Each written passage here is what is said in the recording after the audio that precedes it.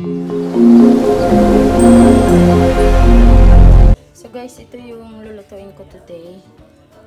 Ayan, simple lang. Ayan, meron tayong, ayan, meron tayong kangkong, tapos ah, karning baboy, sibuyas, bawang, kalamansi, oyster sauce, sesame seed, asin, asin pepper, paminta. Ayan, magluluto ako ng apan-apan guys. Alam niyo yung apan-apan, yan yung gulay na kangkong sa Bisaya. Madalas namin yan niluluto. Apan-apan with karning baboy. Ayan.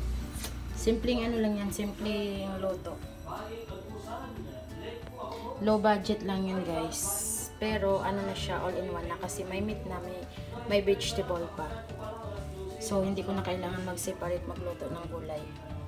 Hindi ko alam kung kakain si Prince ng kangkong kasi first time pa niya kakain ngayon ng kangkong. So, itry ko lang magpakainin siya. Pero I'm sure